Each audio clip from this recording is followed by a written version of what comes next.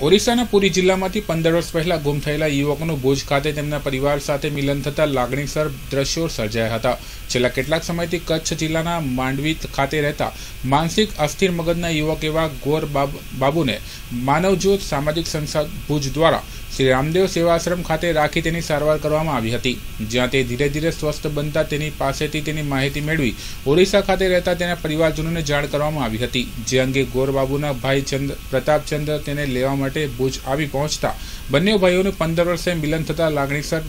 દ્રશ્યો સર્જાયા હતા.